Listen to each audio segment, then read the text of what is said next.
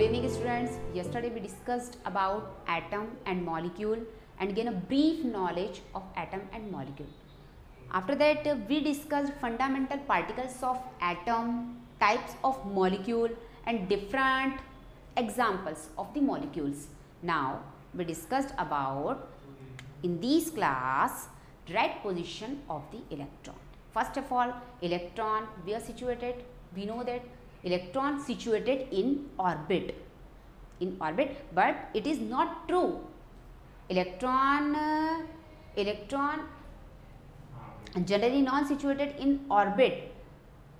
there are different forms present in orbit which is called as orbitals suborbitals and there uh, there are different types of components in which electrons situated आइए तो सब first of all हम देखते हैं position of electron या right position of electron in atom electron always present in orbit yesterday we set orbit what is orbit तो orbit orbits are circular path which is situated around the nucleus. Orbit are circular path which is present around the nucleus. This all called as orbits or shell. Orbit and shell और हम लोगों ने कहा था कि जो electron है वो कहीं ना कहीं ऑर्बिट और शेल में ही होता है लेकिन ये ये जो है वो कम से कम हम ये बोल सकते हैं कि ये पूरी तरह से सत्य नहीं है ये पूरी तरह से सही नहीं है तो इस कारण से हमें पता होना चाहिए यदि हम केमिस्ट्री पढ़ रहे हैं हमें अच्छी एग्जाम क्रेक करना है अच्छे क्वेश्चंस कवर करना है तो हमें पूरी कंडीशन पता होना चाहिए कि इलेक्ट्रॉन की रेड पोजीशन है कहाँ इलेक्ट्रॉन ऑर्बिट में तो है ये आधा सही है लेकिन वास्तव में होता कहाँ है तो ऑर्बिट्स यदि हम इसका पोस्टल एड्रेस जाने यदि हम इसकी सही पोजिशन जाने तो ऑर्बिट किसी भी एटम से शुरू करते हैं हम एटम में बाहर से अंदर की ओर जा रहे हैं हम एटम में अंदर की ओर जा रहे हैं तो फर्स्ट ऑफ ऑल हमारा होगा एटम एटम में होती है ऑर्बिट ऑर्बिट और शेल ऑर्बिट और shell then orbitals also called as sub shell and sub orbit तो electron always present in suborbital atom, orbit, orbitals and suborbitals. Orbit also represented by small n.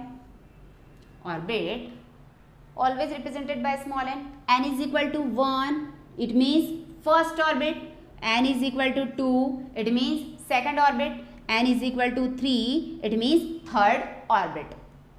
so these all of orbits when we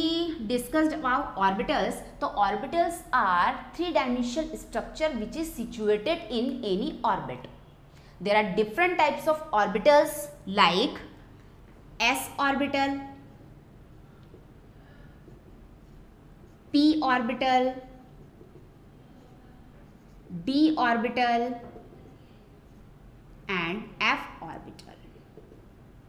हम ये कह सकते हैं कि orbit जो है उसमें इलेक्ट्रॉन तो होते हैं लेकिन इलेक्ट्रॉन वास्तव में होते हैं हमारे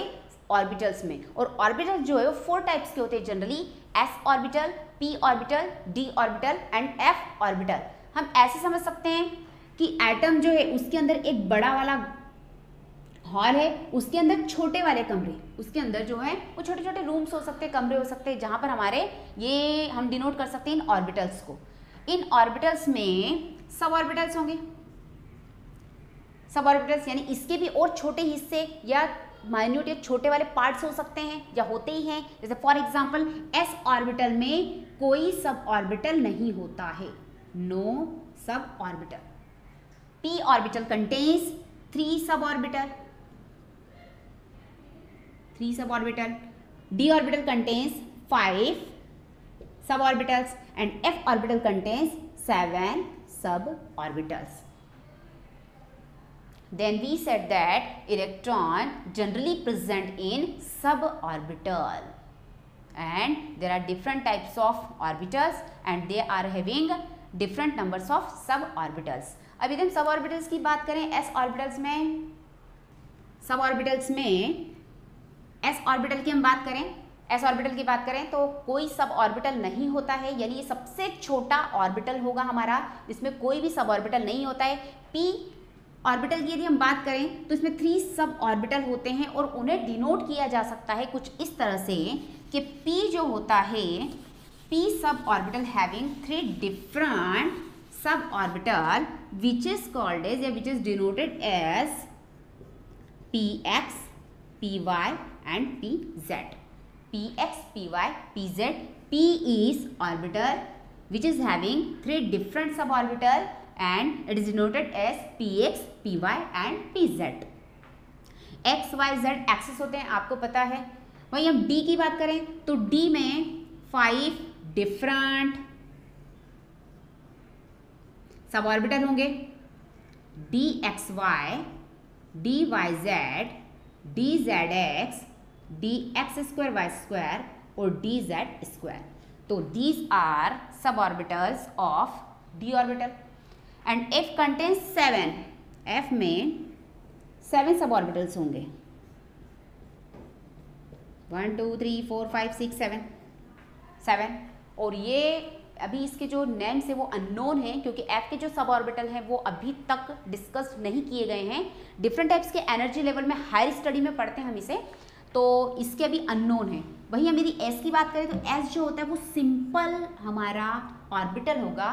इसमें कोई भी सब ऑर्बिटल नहीं होता है then the right position of electron is not orbit it is sub orbital this the postal address of any electron which is situated in any neutral atom तो इलेक्ट्रॉन वास्तव में यदि हम देखें मोटे तौर पर तो इलेक्ट्रॉन हम एटम के अंदर जाकर देख रहे हैं क्योंकि हमें पता है कि इलेक्ट्रॉन एटम में ही सिचुएटेड होता है और इलेक्ट्रॉन एटम का फंडामेंटल पार्टिकल होता है एक बहुत इंपॉर्टेंट पार्टिकल होता है तो हमें उसकी राइट पोजिशन पता चल चुकी है कि वास्तव में इलेक्ट्रॉन एटम के ऑर्बिट में ऑर्बिट को हम शेल कहते हैं शेल से ऑर्बिटल्स में यानी ऑर्बिट का ही ऐसा वाला हिस्सा जहाँ पर इलेक्ट्रॉन के मिलने की प्रोबेबिलिटी या इलेक्ट्रॉन की अवेबिलिटी सबसे ज़्यादा होती है वही कहलाता है ऑर्बिटल्स तो orbitals are that places where probability of electron will be maximum या availability of electron will be maximum is called as orbitals now sub orbitals sub orbital sub orbitals the part of orbitals जहां पर हमारे electron वास्तव में present होते हैं तो this the right position of any electron which is situated in any neutral atom फिर हम लोगों ने देखा कि जो हमारा ऑर्बिटल्स होते हैं फोर टाइप्स के ऑर्बिटल्स होंगे there are four types of orbital S P D F S सबसे स्मॉलेस्ट ऑर्बिटल होता है पी उससे बड़ा ऑर्बिटल होगा डी उससे बड़ा ऑर्बिटल होगा और एफ सबसे बड़ा ऑर्बिटल होता है यदि हम इलेक्ट्रॉन की बात करें फिर हमने हम लोगों ने देखा कि सब ऑर्बिटल में सब ऑर्बिटल में P X P Y P Z orbital में पी में तीन होंगे P X P Y P Z D में one two three four five होंगे जिनकी डिफरेंट नेमिंग है जो कि एक्सिस के अकॉर्डिंग होती है आप जानते हैं कि तीन एक्सिस होते हैं एक्स वाई जेड और ये थ्री डायमेंशनी नॉमन होता है किसी भी ऑर्बिटल का अब वो कैसे हम अभी डिस्कस ज़रूर करेंगे एफ ऑर्बिटल के नेम जो है वो भी अननोन है रिसर्च इस पर अभी चल रहा है वैसे एनर्जी लेवल में मेंशन करते हैं हायर स्टडी में लेकिन वो अभी यहाँ पर हम डिस्कस नहीं कर सकते हैं ठीक है तो एफ में सेवन डिफरेंट सब ऑर्बिटल्स होते हैं अब यदि हम बात करें कि सब ऑर्बिटल में इलेक्ट्रॉन्स होते तो हैं लेकिन how many electrons present in any orbitals और सब ऑर्बिटल्स चलिए देख लेते हम डिस्कस कर लेते हैं तो इसके लिए बहुत सबसे पहले एक कंसेप्ट समझना होगा बहुत बेसिक और बहुत ईजी कंसेप्ट है हमारा जो आप पढ़ चुके हैं बिकॉज आप बहुत इंटेलिजेंट बच्चे हैं आप बहुत समझदार बच्चे हैं ऐसी मैं उम्मीद करती हूँ ऐसी मैं आशा करती हूँ क्योंकि बेटा देखिए मैं बहुत साधारण इंसान हूँ और मैं बहुत साधारण टीचर हूँ आप बहुत इंटेलिजेंट हैं और मेरी आशाएं हैं मेरी उम्मीदें हैं कि आप बहुत अच्छे ऑफिसर बने ठीक है ना चलिए देखते हैं नेक्स्ट तो हम लोग बात करते हैं आप एटॉमिक नंबर और एटॉमिक मास की जिसकी हमें आगे ज़रूरत पड़ेगी what is atomic number what is atomic number simple simple से फंडे हैं जो कि किसी भी एटम को स्टडी करने के लिए ज़रूरी होते हैं ये बेसिक टूल्स हैं जो हमें केमिस्ट्री को याद रखने के लिए उसको समझने के लिए समझना ज़रूरी है समझने के लिए समझना ज़रूरी है ठीक है तो वट इज़ एटॉमिक नंबर तो नंबर ऑफ हम इसे ऐसे डिफाइन कर सकते हैं कि number of electron or number of proton number of electron or number of proton which is present in any neutral atom which is present in any neutral atom is called as atomic number is called as atomic number and it is denoted by Z it is denoted by z तो definition हम लोगों ने क्या हुई definition हम लोगों ने कहा है कि number of electron and number of proton which is situated in any neutral atom is called as atomic number कहने का मतलब है न्यूट्रल की बात की हमने न्यूट्रल न्यूट्रल गियर होता है भाई जानते हैं आप सभी जानते हैं मैं तो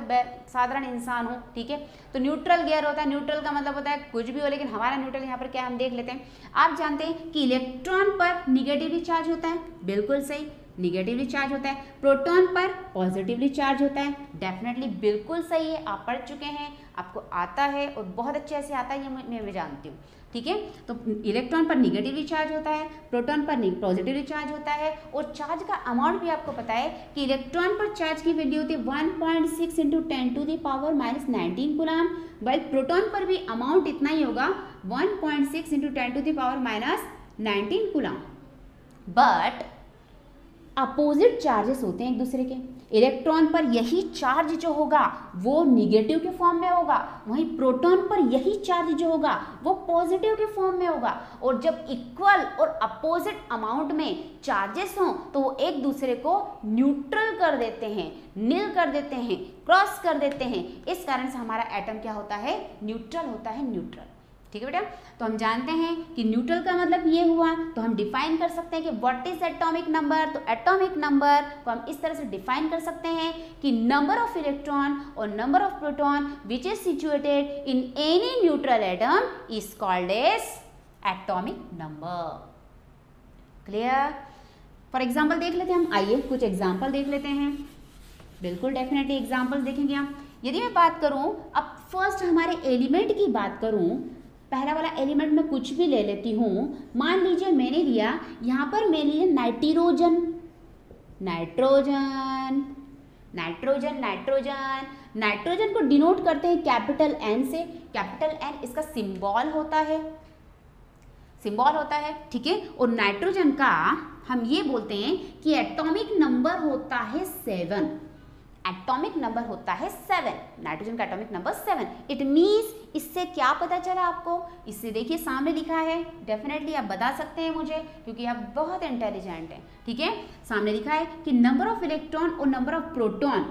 न्यूट्रल बोला है मैंने नाइट्रोजन क्या है न्यूट्रल एटम है अभी मेरा ठीक है तो नंबर ऑफ इलेक्ट्रॉन और number of proton which is situated in any neutral atom is called as their atomic number यानी सेवन क्या है इसका एटॉमिक नंबर है इसका मतलब ये हुआ कि नाइट्रोजन में इलेक्ट्रॉन्स का नंबर भी सेवन है और प्रोटॉन का नंबर भी सेवन है क्लियर यानी नाइट्रोजन में सेवन ही सेवन ही इलेक्ट्रॉन होंगे और सेवन ही प्रोटॉन होते हैं आइए आगे चलते हैं हम सेकंड वाला एग्जांपल देखते हैं फर्दर एग्जांपल आ जाइए क्लोरीन देखते हैं बेटा क्लोरीन देखेंगे हम क्लोरीन क्लोरीन का सिंबल होता है सी एल सी एल होता है और इसका एटॉमिक नंबर होता है कितना सेवनटीन सेवनटीन सत्रह और सबसे बड़ा खतरा ये खतरा ही है एटलीस्ट केमिस्ट्री के लिए तो है ठीक है आइए इससे क्या पता चला हमें इससे क्या इन्फ्लुएंस निकला यहाँ पर मैंने लिखा chlorine is equal to seventeen या atomic number of chlorine is equal to seventeen it means number of electron in chlorine is seventeen while number of proton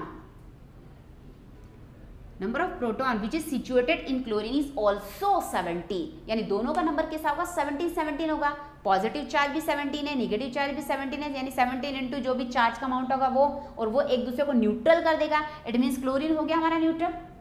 clear तो इस तरह से एटॉमिक नंबर को हम डिफाइन करते हैं और एटॉमिक नंबर से ये बेसिक कंसेप्ट हमें समझ में आता है कि न्यूट्रल एटम का मतलब क्या होता है न्यूट्रल एटम का मतलब होता है कि जितना नंबर ऑफ प्रोटॉन होगा उतना ही नंबर ऑफ इलेक्ट्रॉन होगा हमारा और दोनों अपोजिट और इक्वल चार्ज एक दूसरे को न्यूट्रल करते हैं तो ये सिचुएशन कहलाती है न्यूट्रल एटम की क्लियर आगे बढ़ते हैं हम एटॉमिक मास एटॉमिक मास की बात करेंगे हम क्योंकि रिलेशन है कहीं ना कहीं एटॉमिक नंबर और एटॉमिक मास में अच्छा ये ये लिया मैंने एटॉमिक मास अब व्हाट इज एटॉमिक मास बिल्कुल सिंपल सिंपल सी डेफिनेशन है छोटी छोटी सी डेफिनेशन है सब कुछ पढ़ चुके हैं आप अच्छे से पढ़िए कॉन्फिडेंस बहुत अच्छा होता है बेटा और कॉन्फिडेंस आपको ज़रूरी भी है मेरी बेस्ट विशेष आपके साथ है लेकिन ओवर कॉन्फिडेंस अच्छा नहीं होता है तो एटॉमिक मास एटॉमिक मास का मतलब क्या हुआ एटॉमिक मास का मतलब होता है एटॉमिक मास को हम कुछ इस तरह से बता सकते हैं कि number of proton and neutron number of proton and neutron which is situated in any neutral atom यानी किसी भी एटम के न्यूक्लियस में जितने भी प्रोटॉन और जितने भी न्यूट्रॉन होंगे उन दोनों का सम हम कुछ ऐसा बोल सकते हैं यानी इन्फ्रेंस कुछ इस तरह से निकाल सकते हैं कि number of proton plus number of neutron is is called as atomic mass तो एटॉमिक मास हम डिफाइन कर सकते हैं कि किसी भी न्यूट्रल एटम या न्यूट्रल बोलने की ज़रूरत नहीं है क्योंकि प्रोटॉन और न्यूट्रॉन तो न्यूक्लियस से बाहर निकल ही नहीं सकते हैं ये न्यूक्लियॉन कहलाते हैं they are called as nucleon because ये स्टेशनरी पार्टिकल हैं तो न्यूट्रल लगाना इसके लिए ज़रूरी भी नहीं है लेकिन हम कुछ इस तरह से डिफाइन कर सकते हैं कि atomic mass of the any atom is the sum of number of proton and number of neutron is called is their atomic mass question आ सकता है हमारा यहाँ पर कुछ इस तरह से कि एक क्वेश्चन मान लीजिए मैंने दिया आपको कुछ इस तरह से अब एटॉमिक मास का भी थोड़ा सा मैं लिख देती हूँ चलिए एटॉमिक मास पहले मैं लिख दूँ atomic mass is equal to number of proton plus number of neutron वहीं एटॉमिक नंबर लिख देती हूँ मैं यहाँ पर एटॉमिक नंबर अभी पढ़ा है बेटा आप लोगों ने ठीक है तो atomic number is equal to क्या आ सकता है कि number of electron is equal to number of proton कुछ भी ले सकते हैं हम ठीक है इलेक्ट्रॉन का नंबर या प्रोटॉन का नंबर वो कहलाएगा पैटोमिक मास लेकिन यदि हम ब्रीफ बात करें हम बेसिक बात करें तो नंबर ऑफ प्रोटॉन की ही बात करते हैं क्योंकि अभी हमको आगे आयंस पढ़ना है तो आपको पता चलेगा कि इलेक्ट्रॉन बाहर भी निकल सकते हैं और इलेक्ट्रॉन ऐड भी हो सकते हैं तो इलेक्ट्रॉन का नंबर किसी भी एटम में चेंज हो सकता है लेकिन प्रोटॉन फिक्स क्वांटिटी में ही होंगे तो यदि बहुत ज़्यादा ज़रूरी है तो हम ये बोल सकते हैं बहुत ज़्यादा करेक्ट यदि बोलना चाहें तो हम कुछ इस तरह से बोल सकते हैं कि number of proton is called is their number clear अभी क्वेश्चन कुछ इस तरह से आ सकता है क्वेश्चन कुछ मैंने कुछ इस तरह से दिया कि मान लीजिए हमारा सोडियम है सोडियम सोडियम का सिंबल होता है एन नहीं बोलना है भैया मुझे नेहा अग्रवाल इसको क्योंकि बॉलीवुड नहीं जाना है ठीक है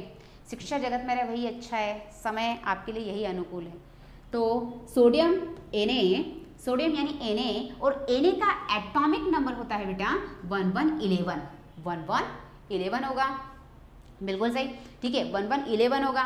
अब मैंने आपसे एक क्वेश्चन किया बेटा कि बताइए how much electron present in sodium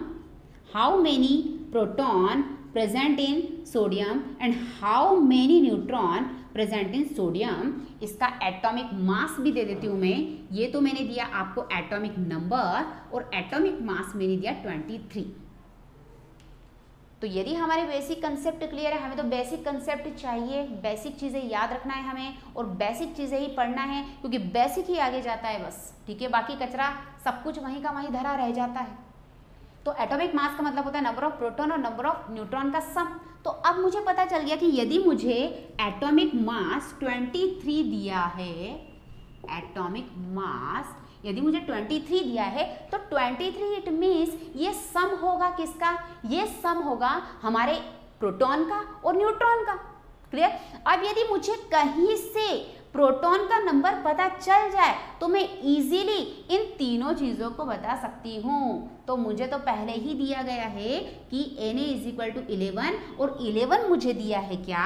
atomic number और मैं जानती हूँ क्योंकि मेरे बेसिक्स क्लियर हैं तो मुझे पता है कि एटॉमिक नंबर का मतलब क्या होता है atomic number always is equal to number of electron और नंबर ऑफ प्रोटॉन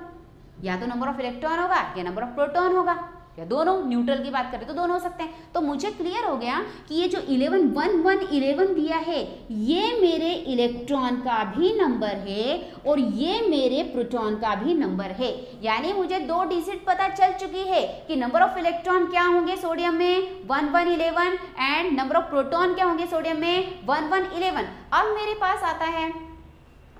न्यूट्रॉन की बारी आती है ठीक है यदि मैं न्यूट्रॉन की बात करूं तो न्यूट्रॉन के लिए देखिए बेटा एटॉमिक मास दिया गया है आपको 23 दिया गया 23 23 मानते हैं 22 पॉइंट समथिंग होता है 23 मानते हैं तो 23 में से यदि मैं किसको प्लस माइनस करूं तो आ जाएगा आप बता सकते हैं मुझे डेफिनेटली बता सकते हैं क्यों नहीं बता सकते हैं चले भैया एटोमिक मास ट्वेंटी दिया है ठीक है ये ट्वेंटी दिया है मुझे ये दिया मुझे ट्वेंटी दिया है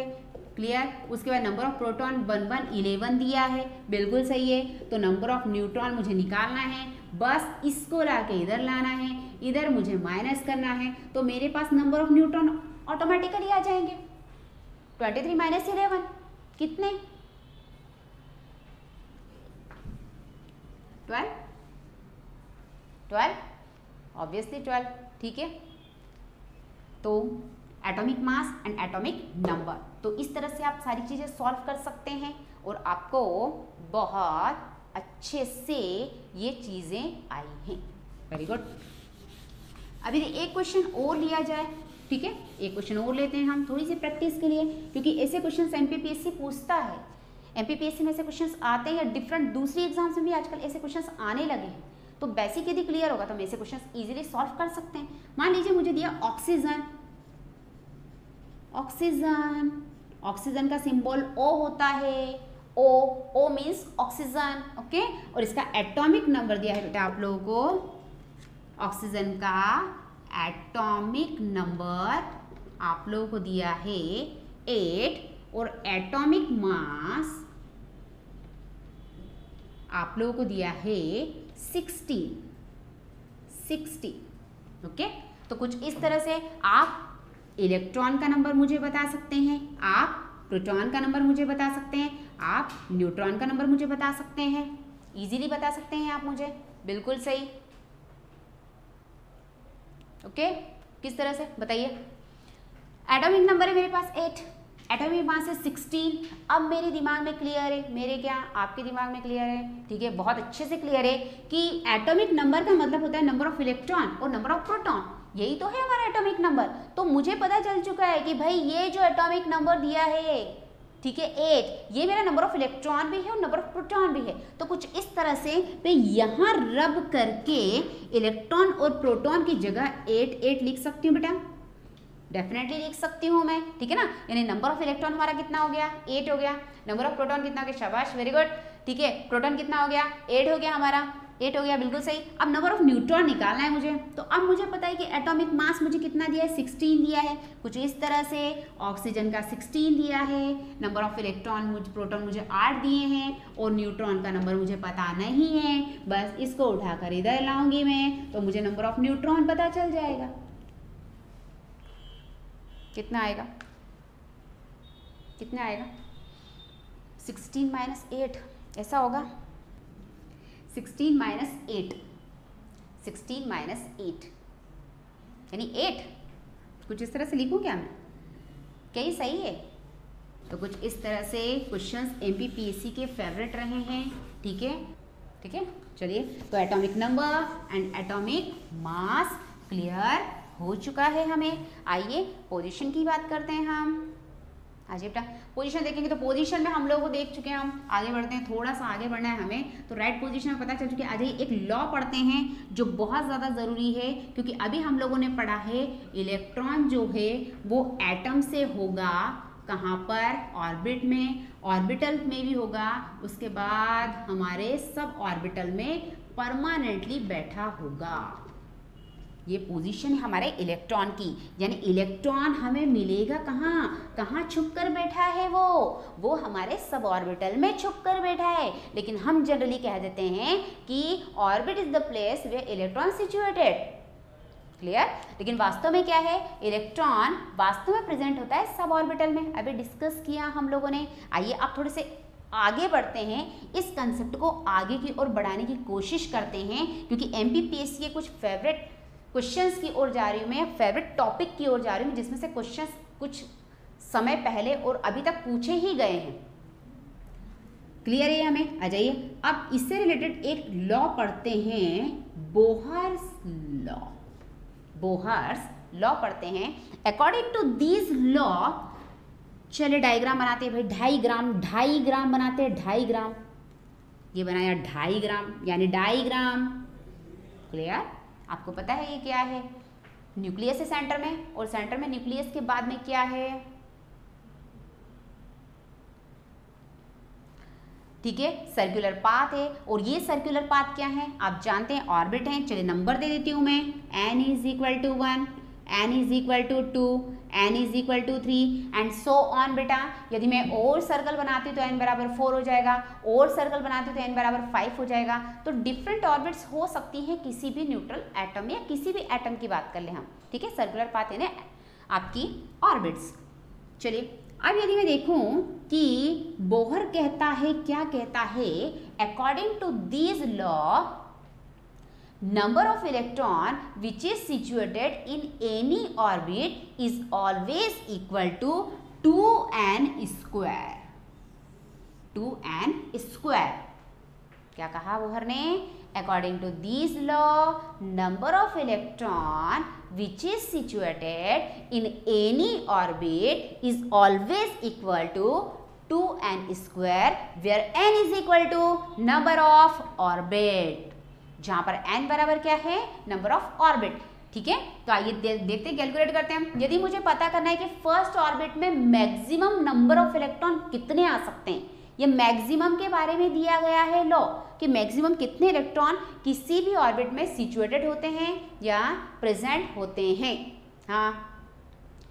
प्रेजेंट होते हैं या सिचुएटेड होते हैं चलिए देख लेते हैं यदि मैं फर्स्ट ऑर्बिट की बात करूं कि फर्स्ट ऑर्बिट में number of electron first orbit में नंबर ऑफ इलेक्ट्रॉन कितने होंगे तो आपको पता है एन की जगह वन रखना पड़ेगा आपको एन के प्लेस पर वन रखना पड़ेगा चलिए रखा मैंने बिल्कुल कैलकुलेट कर लिया मैंने कुछ इतना ज़्यादा टफ कैलकुलेशन नहीं है टू टू इंटू वन का whole square it means two it means two यानी फर्स्ट ऑर्बिट में मैक्सिमम नंबर ऑफ इलेक्ट्रॉन कितने आ सकते हैं दो मैक्सिमम नंबर ऑफ इलेक्ट्रॉन कितने आ सकते हैं दो आ सकते हैं डेफिनेटली दो आ सकते हैं कुछ इस तरह से हम फील कर सकते हैं भाई और दो आपको पता है यदि मैं यहाँ पर अब सेकंड ऑर्बिट की बात करूँ ये लिखा मैंने सेकंड ऑर्बिट सेकंड ऑर्बिट के लिए यदि मैं निकालू तो सेम फॉर्मूला से टू एन स्क्वायर से यदि मुझे कैलकुलेट करना है तो मैंने टू इंटू टू का होल स्क्वायर टोटल कितना आया eight electron it means second orbit always contain maximum eight electron आगे फर्दर यदि मैं थर्ड ऑर्बिट की बात करूं ये लिया मैंने third orbit third orbit third third orbit में एन की जगह कितना रखूंगी मैं थ्री तो थ्री का होल स्क्वायर इट मीन्स कितना हो जाएगा यहाँ पर एटीन इलेक्ट्रॉन चलिए ये एटीन इलेक्ट्रॉन आ गया बिल्कुल सही है आगे बात करूँ यदि मैं फोर्थ ऑर्बिट की बात करूँ ठीक है ये लिया मैंने fourth orbit fourth orbit fourth orbit में टू इंटू फोर का whole square it means thirty two electron तो कुछ इस तरह से ये कंसेप्ट है हम कह सकते हैं टू एट एटीन हाँ बिल्कुल सही है बिल्कुल सही बिल्कुल सही बिल्कुल सही शाबाश मैंने कहा ना इंटेलिजेंट हैं आप लोग और होना भी चाहिए और इंटेलिजेंट बनिए ठीक है तो according to this law maximum number of electron which is situated in any orbit is always equal to two n square where n is equal to number of orbit अब क्वेश्चन ये आता है अब आई basic चीज़ तो ठीक है यहाँ तक तो सब पढ़ते हैं लेकिन अब हमारे कंसेप्ट हमें देखना है हमने देखा है हमने अभी ऑर्बिटल पढ़ा है हम लोगों ने देखा है कि भाई जो ऑर्बिट होती है उसमें इलेक्ट्रॉन होते हैं हम जनरली ऐसा बोलते हैं लेकिन अभी हम लोगों ने जाना है कि वास्तव में इलेक्ट्रॉन हमारे सब ऑर्बिटल में होते हैं तो मैम ये तो ऑर्बिट की बात कर रहे हैं आप यहाँ पर ऑर्बिटल और सब ऑर्बिटल को हम कैसे एक्सप्लेन करेंगे कि दो इलेक्ट्रॉन है तो दो इलेक्ट्रॉन कौन से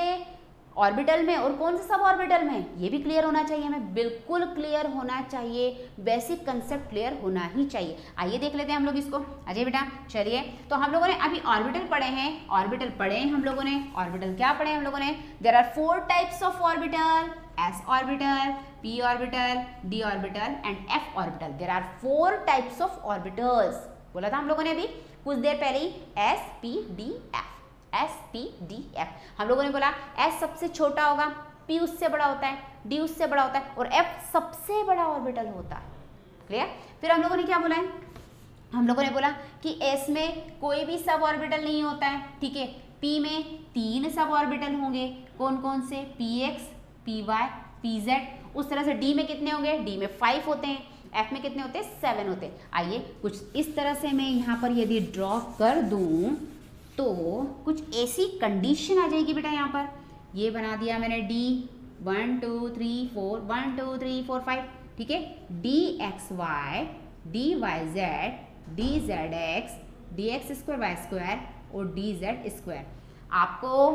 ये याद रखना हो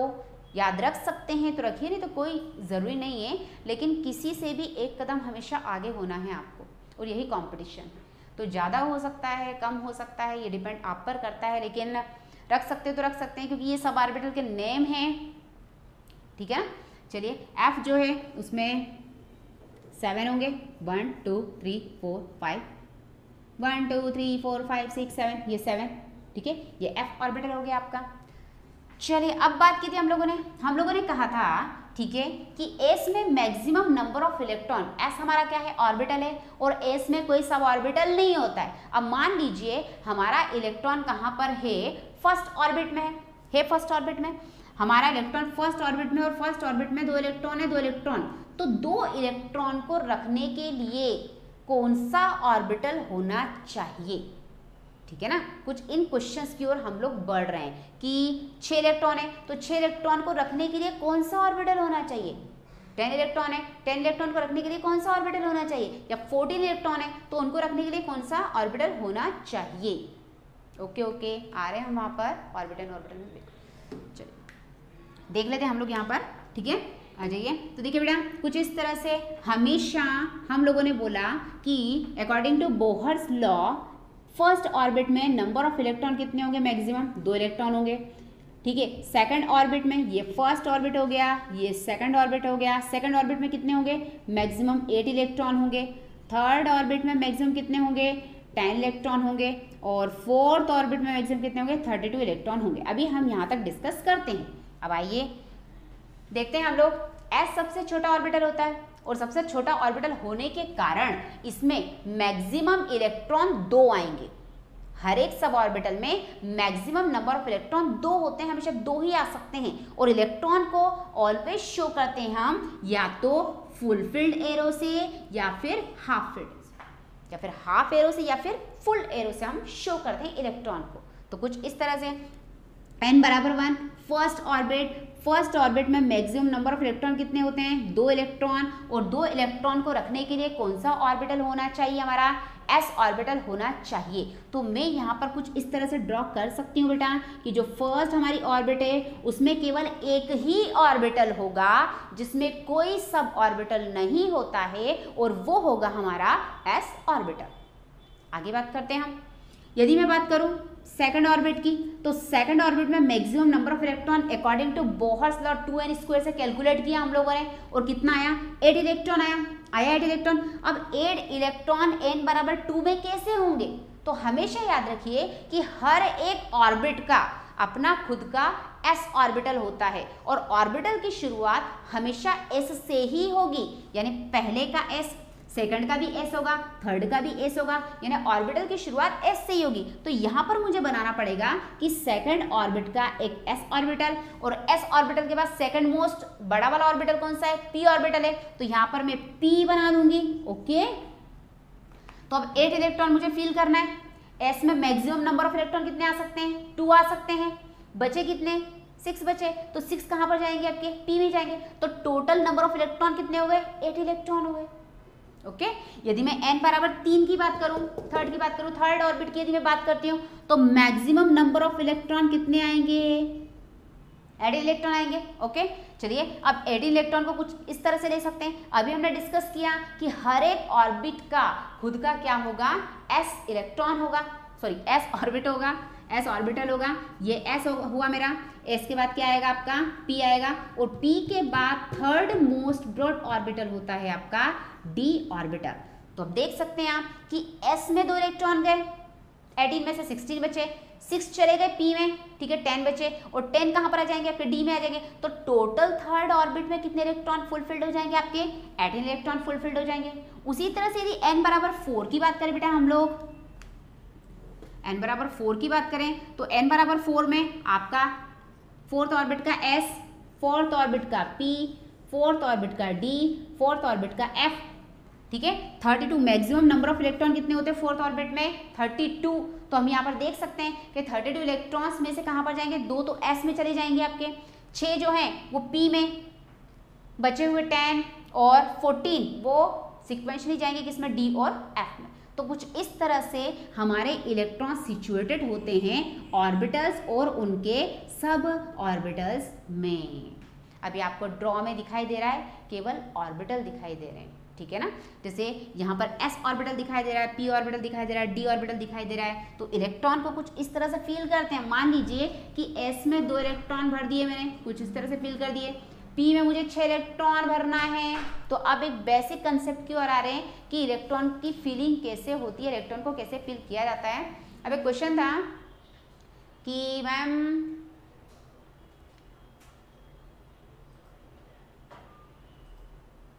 बिल्कुल सही बिल्कुल सही शाबाश शाबाश के एल एम एन भी बोलते हैं हम ऑर्बिट को बिल्कुल सही एक क्वेश्चन था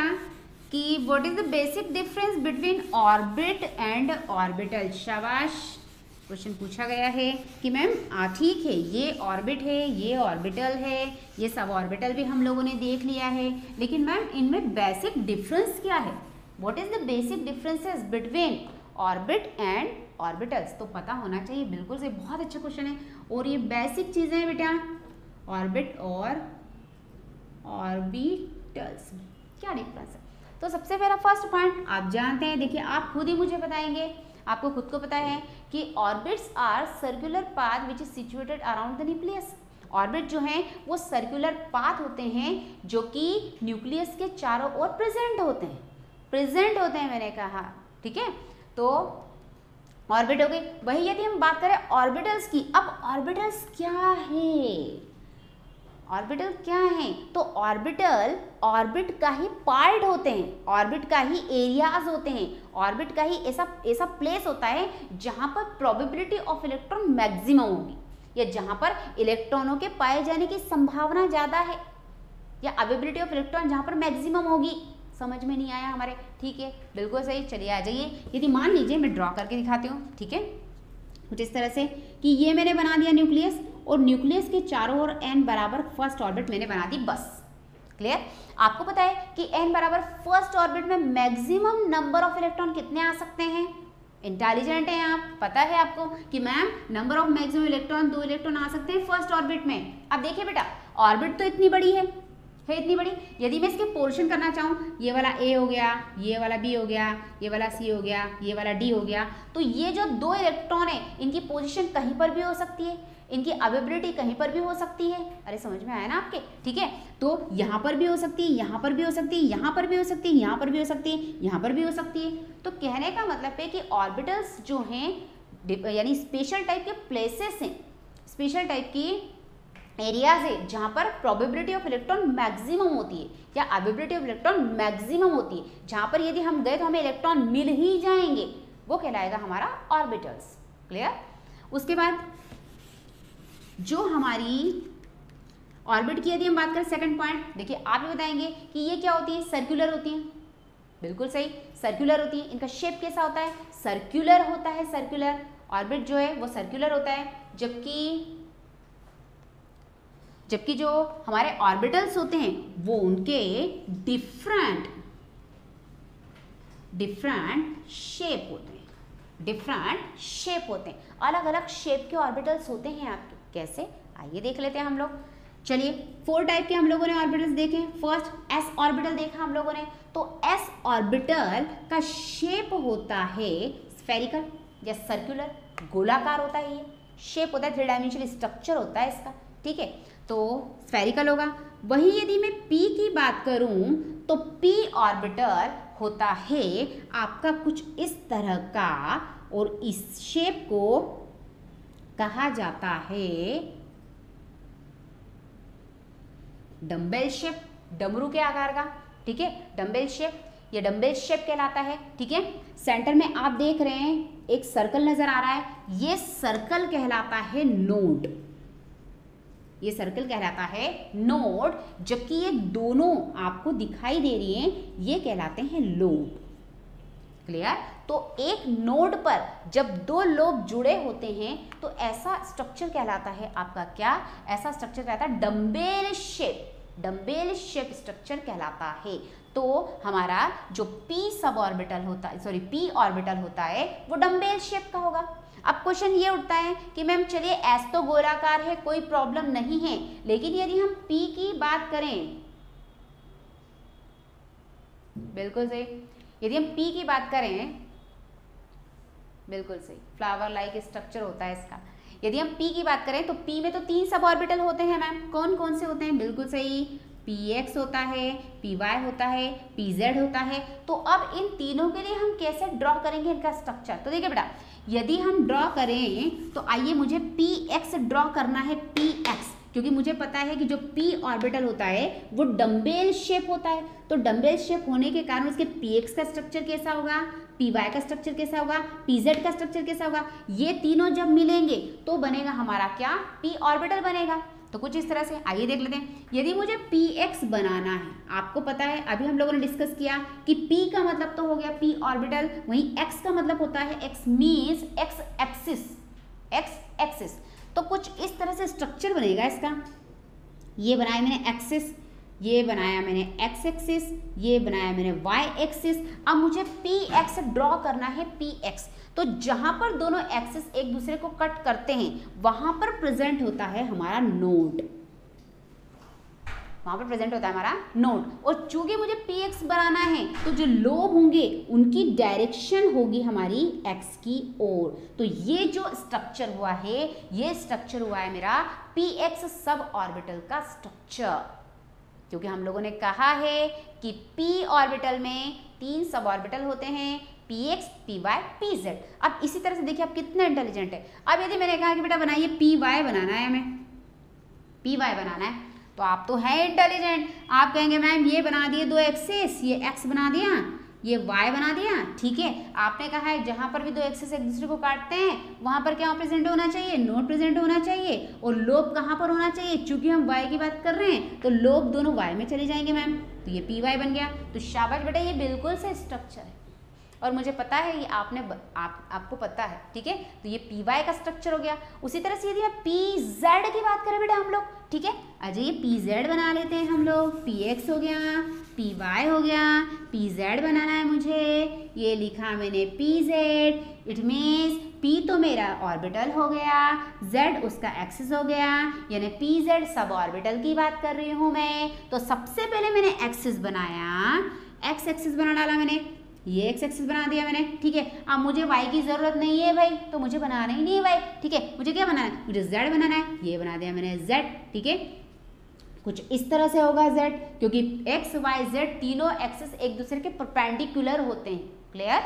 तो यहाँ पर मैंने बनाया जेड अब आपको पता है ठीक है आपने बताया मुझे आपने बताया है मुझे कि मैम जहाँ पर दो एक्सेस एक दूसरे को कट करते हैं वहाँ पर वहां पर क्या होगा हमारा नोड होगा ठीक है और चूंकि जेड की बात कर रहे हैं इस कारण से क्या हो जाएगा हमारा लो हो जाएगा तो ये पी जेड का स्ट्रक्चर हो गया बेटा क्लियर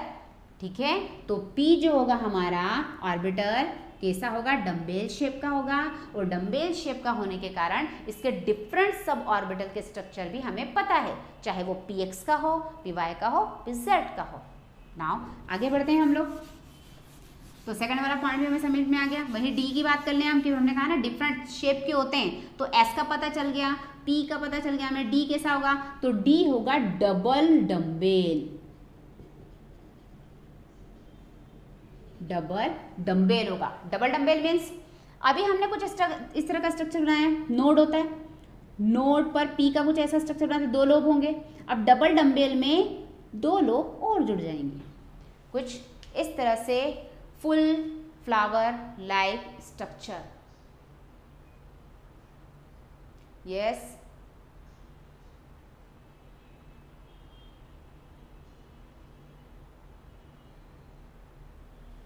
ठीक है ये डबल डम्बेल शेप होता है इसमें भी एक्सेस होंगे ठीक है तो डी का बेसिक स्ट्रक्चर कुछ ऐसा होगा ठीक है और उसमें भी डिफरेंट टाइप्स के आपके सब ऑर्बिटल होते हैं d x y d y z d z x d x square y square और डी जेड स्क्वायर चाहे तो इनके डायग्राम हम यहाँ पर ड्रॉ कर सकते हैं क्लियर उसी तरह से जिस तरह से हमने पी के ड्रॉ किए हैं चलिए कर लेते हैं दो मिनट का समय लगेगा बस आ जाइए डबल डम्बेल होगा डी एक्स वाई ड्रॉ करना है मुझे बताइए मुझे किस तरह से ड्रॉ करूंगी मैं अब यहाँ पर प्रॉब्लम आ गई कि मैम दो दो एक्सेस एक साथ आ रहे हैं यहाँ तो बिल्कुल सही अब ज़रा बेटा एक चीज़ थोड़ा सा हम लोग देख लें डी एक्स वाई की बात कर रहे हैं हम लोग तो मुझे एक्सिस कौन कौन से ड्रॉ करना है एक तो एक्स ड्रॉ करना है मुझे और दूसरा कौन सा ड्रॉ करना है वाई ड्रॉ करना है मुझे मैंने ड्रॉ कर दिया लेकिन यहाँ पर डी के स्ट्रक्चर में थोड़ा सा डिफरेंस होता है किस तरह से ये जो स्ट्रक्चर है अब यदि मैं बनाने का कहूँगी तो आप इस तरह से बनाएंगे मैम नोड यहाँ पर आ जाएगा ठीक है वाई पर दो आ जाएंगे एक्स पर दो आ जाएंगे कुछ इस तरह से ड्रॉ कर सकते हैं आप और ऐसा ड्रॉ करने की कोशिश भी करेंगे लेकिन डी जो है थोड़ा सा डिफरेंट होता है बेटा बहुत बड़ा ऑर्बिटल होता है टेन इलेक्ट्रॉन आते हैं इसमें और ये आपका जो ऑर्बिटल होता है वो बहुत इंपॉर्टेंट होता है जो मेजर रोल प्ले करता है हर एक चीज़ में चाहे वो एनर्जी लेवल हो चाहे एक्सरे क्रिस्टलोग्राफी से इसकी स्टडी की जाए तो पता चलता है हमें कि बहुत इंपॉर्टेंट ऑर्बिटल है ये तो ये स्ट्रक्चर आपका रॉन्ग हो जाएगा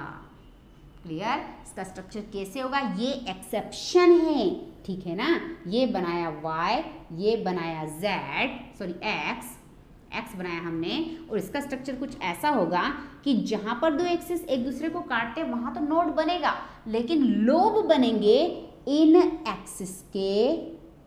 अंदर कुछ इस तरह से ये होगा हमारा राइट स्ट्रक्चर होगा जो किसका होगा डी एक्स वाई का राइट स्ट्रक्चर है ये क्लियर ठीक है अब यदि मैं डी वाई जेड का बनाऊं या डी जेड एक्स का बनाऊं तो आप ड्रॉ कर सकते हैं ये लिखा मैंने लिख दिया मैंने चलिए ये बना दिया मैंने डी एक्स जेड या डी वाई जेड बना सकते हैं आप ड्रॉ कर सकते हैं चलिए किस किस तरह से करेंगे आप ये बनाए आपने एक्सेस ये बना दिया एक्स एक्सेस ये बना दिया आपने जेड एक्सेस क्लियर सबसे पहले हम फर्स्ट ड्रॉ कर रहे हैं डी एक्स जेड ड्रॉ कर रहे हैं एक्स एक्सेस बनाया मैंने जेड एक्सेस बनाया जहां पर भी दो एक्सेस एक दूसरे को कट करते हैं वहां पर बनेगा नोड क्लियर और आपको यहां पर लोग कहां बनाने लोग बनेंगे इन एक्सिस के पेंडिकुलर क्लियर तो ये स्ट्रक्चर हो जाएगा हमारा डी एक्स जेड का उसी तरह से डी वाई जेड बना सकते हैं आप ये वाई जेड बनेगा ये थोड़ी सी हायर स्टडी में बिल्कुल पूछा जाता है और बहुत इंपॉर्टेंट है क्योंकि ये बेसिक कहीं ना कहीं केमिस्ट्री है कभी कभी एक दो क्वेश्चन ऐसे आ जाते हैं और यही एक दो नाइन्टी नाइन तो सब लोग करते हैं लेकिन जो एक परसेंट करता है कहीं ना कहीं वो थोड़ा सा डिफरेंट होता है और ये एक परसेंट में ये सारे चलिए डिवाइजेड बनाना है मुझे ये बना दिया मैंने वाई ठीक है ये बना दिया मैंने जेड ऐसा लूँ कैसा भी ले सकते हैं चलिए ऐसा ले लेते हैं आप जैसा लें ये लिया मैंने जेड ये ले लिया मैंने जेड चलिए ड्रॉ कर देंगे हम तो किस तरह से ड्रॉ हो जाएगा आपका वो जिस तरह से ड्रॉ हो जाएगा वन टू थ्री फोर ये हो जाएगा अपना डी वाई जेड ड्रॉ हो चुका है तो हमारा डी जो ऑर्बिटल होगा वो डबल डम्बेल शेप का होगा फाइव डिफरेंट ऑर्बिटल्स आते हैं ठीक है इसके d x y d x z d y z d x square y square और डी जेड स्क्वायर अब बनाना है हमें अब बनाना है हमें क्या अब यदि मैं आपसे कहूँ कि बेटा जरा मुझे ड्रॉ करके बता सकते हैं क्या आप d x square y square को ड्रॉ करके बता सकते हैं क्या बता सकते हैं क्या डेफिनेटली बता सकते हैं बिल्कुल बता सकते हैं बेटा किस तरह से आइए देखिए अभी तक हमने बनाया था कुछ इस तरह से एक्स एक्सेस ये बनाया था हमने y एक्सिस बना दिया हमने x एक्सिस और y एक्सिस ठीक है फिर उसके बाद जहाँ पर दो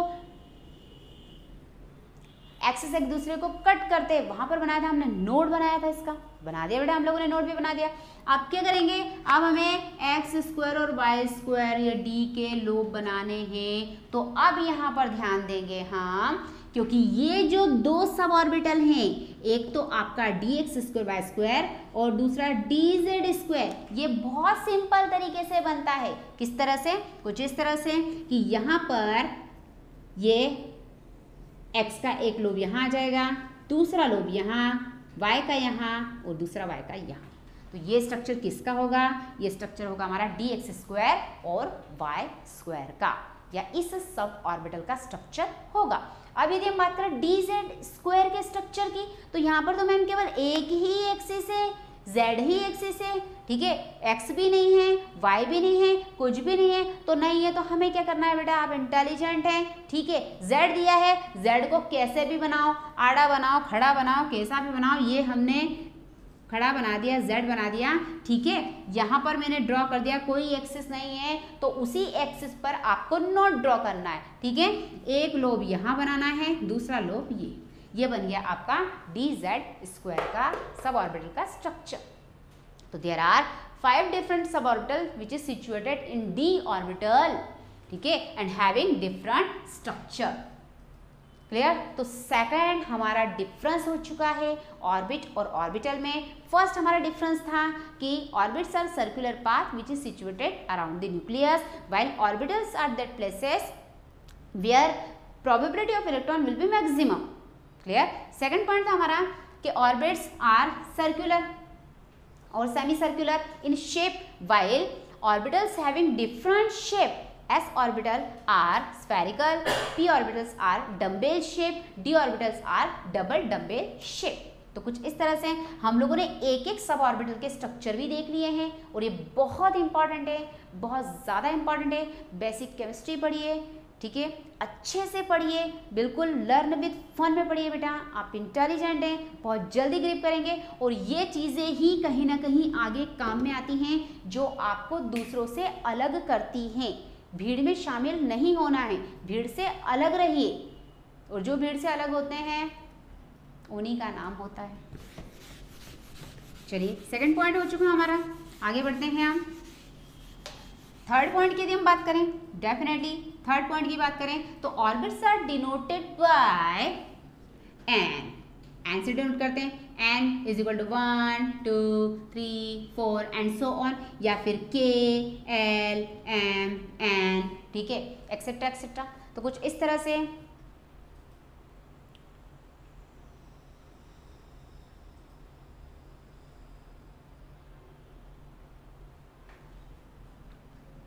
ठीक है के एलेवन से डिनोट करते हैं वायर हम लोग ऑर्बिटल को किससे डिनोट करते हैं एस पी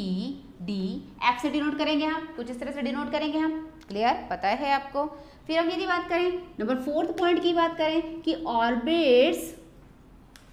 में नंबर ऑफ इलेक्ट्रॉन्स जो होंगे वो अलग अलग होंगे ठीक है ना टू एन स्क्वायर को फॉलो करती है बोहर्स रूल को फॉलो करेगी maximum number of electron two n square होते हैं किसी भी ऑर्बिट में मैक्सिमम वहीं इसमें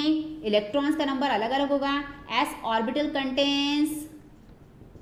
s orbital contains two electron p orbital contains eight electron d orbital contains eighteen electron and f orbital contains thirty two electrons ठीक है तो ये बेसिक डिफरेंस है these are the basic difference between orbit and orbitals clear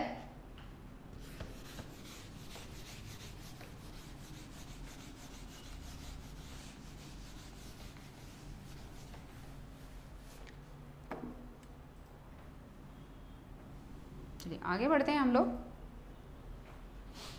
energy level की ओर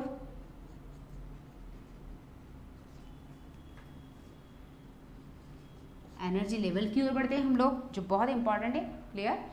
अब energy level क्या है what is the energy level तो अभी हम लोगों ने बोहर्स रूल देखा था ये बना दिया मैंने न्यूक्लियस बेटा ये first orbit second orbit third orbit fourth orbit draw कर दिया मैंने ठीक है n is equal to one n is equal to two n is equal to three n is equal to four draw किया है मैंने अभी अभी हम लोगों ने डिस्कस किया था first orbit contains maximum number of electron 2 second orbit contains maximum number of electron 8 third orbit contains maximum number of electron 18 fourth orbit contains maximum number of electron 32 अभी इतना ही क्योंकि मैंने फोर तक ही ड्रॉ किया है तो यहीं तक हम देखेंगे क्लियर फिर हम लोगों ने बोला कि n बराबर वन में मैम केवल s ही ऑर्बिटल होगा क्योंकि n बराबर वन में केवल दो इलेक्ट्रॉन होते हैं ओनली टू इलेक्ट्रॉन प्रेजेंट होंगे तो इस कारण से जो n बराबर वन फर्स्ट ऑर्बिट है उसमें केवल s ऑर्बिटल ही होगा क्लियर बिल्कुल सही है n बराबर टू की बात करें तो एक s होगा और एक p होगा एन बराबर थ्री की बात करें तो एस होगा एक पी होगा एक डी होगा एन बराबर फोर की बात करें एक एस होगा एक पी होगा एक डी होगा और एक एफ होगा एंड सो ऑन आगे भी ऐसा ही एन बराबर फाइव में क्लियर कुछ इस तरह से तो देखिए बेटा अब मैं कुछ ऐसा लिख सकती हूँ क्या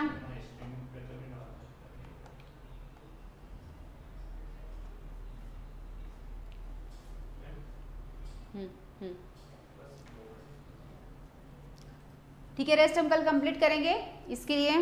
थैंक यू सो मच दोस्तों ऐसी और वीडियोस के लिए सब्सक्राइब कीजिए परीक्षा चैनल को और बेल आइकन दबाना ना भूलें और अगर आप तैयारी कर रहे हैं तो प्रैक्टिस के लिए अभी डाउनलोड करें एमपी परीक्षा ऐप